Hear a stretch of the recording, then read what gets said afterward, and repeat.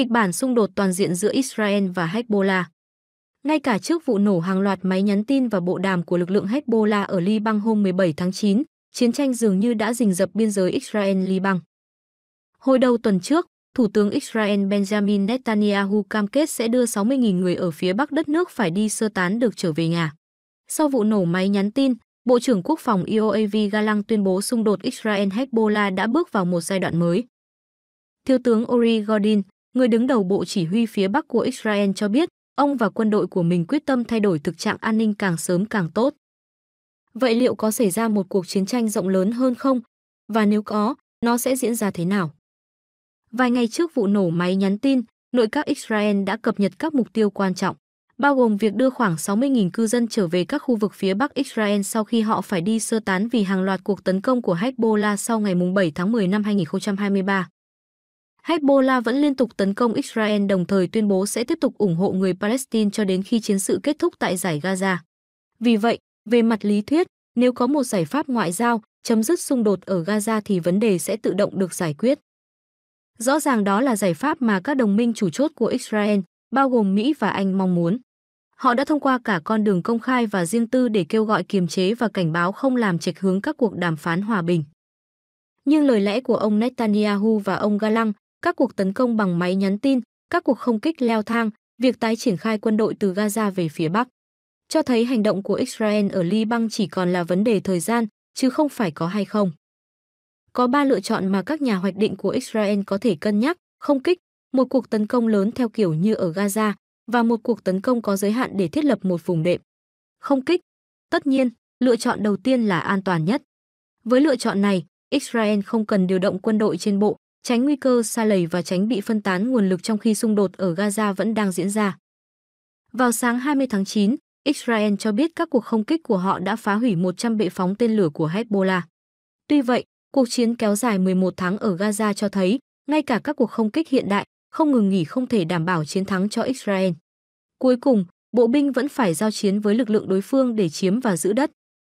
Không có kịch bản nào chúng ta có thể đưa người dân trở lại các thị trấn dọc biên giới nếu Hezbollah còn ở biên giới, chuẩn tướng Amir Avivi, cựu phó chỉ huy sư đoàn Gaza của lực lượng phòng vệ Israel và là người sáng lập Diễn đàn An ninh và Quốc phòng Israel cho biết.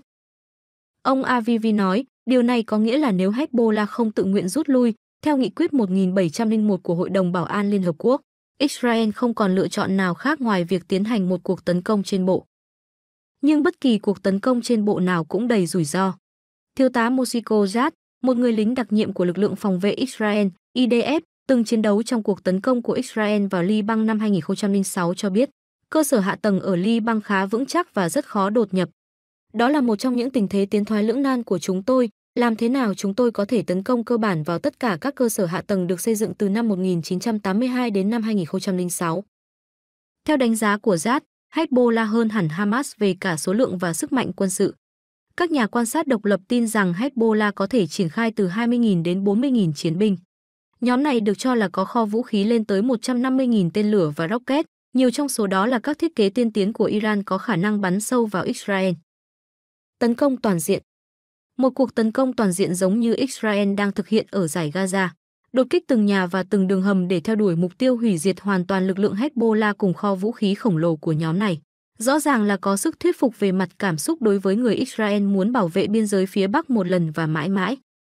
Nhưng IDF vẫn chưa xóa sổ được kẻ thù kém đáng gờm hơn là Hamas sau 11 tháng tấn công vào vùng lãnh thổ nhỏ hơn nhiều là Gaza.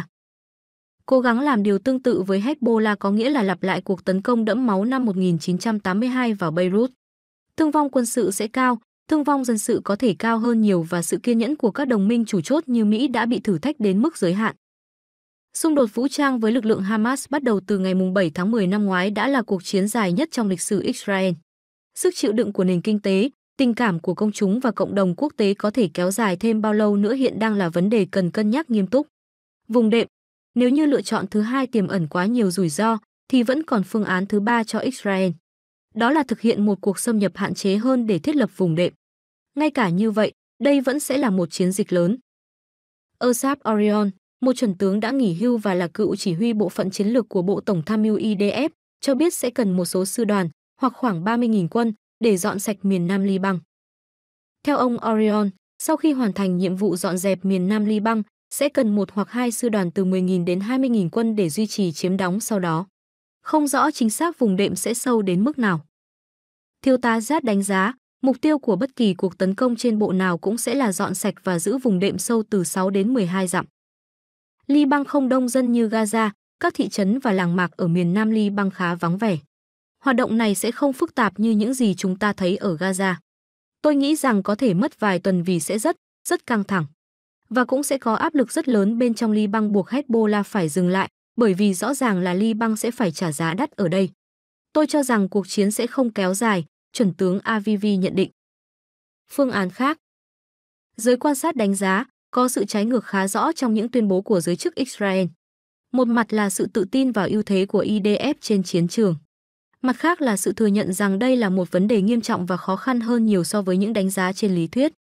Điểm mấu chốt, theo quan điểm của Israel, không có lựa chọn tấn công nào là tốt cả. Bản thân Thủ tướng Netanyahu, với tất cả lời lẽ hùng hồn của mình, lại bị các nhà quan sát coi là một chính trị gia thận trọng và thậm chí là thiếu quyết đoán. Điều đó khiến một số người nhận định rằng chiến tranh không phải là điều không thể tránh khỏi.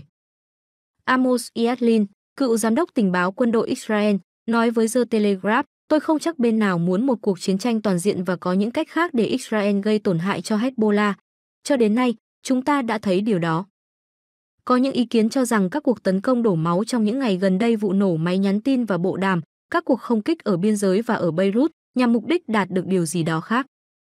Liệu viễn cảnh về một cuộc chiến tranh toàn diện có thể buộc Hassan Nasrallah, thủ lĩnh Hezbollah, phải hạ lệnh cho các chiến binh của mình giảm nhiệt bằng cách dừng các cuộc tấn công bằng tên lửa không?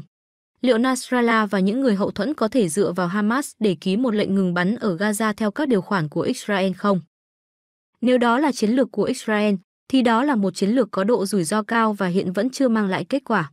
Israel gọi điện, gửi tin nhắn yêu cầu dân Liban sơ tán. Truyền thông Liban đưa tin quân đội Israel gửi tin nhắn và gọi điện yêu cầu dân thường nước này sơ tán, tránh xa vị trí của lực lượng Hezbollah. Người dân ở thủ đô Beirut và một số khu vực đang nhận được cảnh báo đến từ Israel qua số điện thoại cố định, yêu cầu họ nhanh chóng sơ tán, hãng thông tấn quốc gia Liban ngày 23 tháng 9 đưa tin. Những cảnh báo này là một trong các đòn tâm lý chiến của đối phương. Bộ trưởng Thông tin Liban Ziad Makari cho biết văn phòng của ông cũng nhận được cuộc gọi qua điện thoại cố định với nội dung ghi âm sẵn yêu cầu họ sơ tán khỏi tòa nhà để tránh các vụ tập kích. Văn phòng này nằm ở Beirut và gần trụ sở một số bộ khác. Theo Ahmad Gradier, giám đốc mạng viễn thông Ojero của Liban, mạng lưới điện thoại tại nước này chặn mọi liên lạc từ Israel do hai bên đang trong tình trạng chiến tranh và Liban cấm liên lạc với Israel. Tuy nhiên, Israel lách qua bằng cách dùng mã điện thoại quốc tế của một quốc gia thân thiện với Liban, ông nói, song không nêu tên nước này. Trước đó cùng ngày, phát ngôn viên lực lượng phòng vệ Israel, IDF, chuẩn đô đốc Daniel Hagari cảnh báo người dân ở miền Nam Liban tránh xa những ngôi nhà mà Hezbollah cất giấu vũ khí, giữ khoảng cách khoảng 1.000 mét đối với công trình mà nhóm này sử dụng.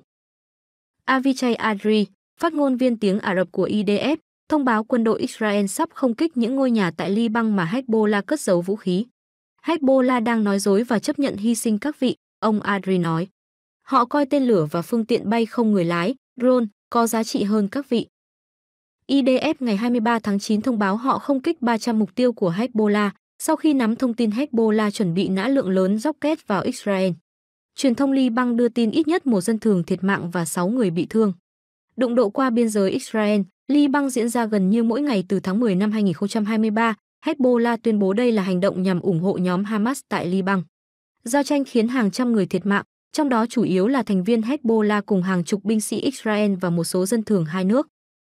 Giao tranh giữa hai bên tăng nhiệt khi Hezbollah tuần qua hứng chịu hai loạt vụ nổ thiết bị liên lạc, khiến ít nhất 39 người chết và hơn 3.000 người bị thương.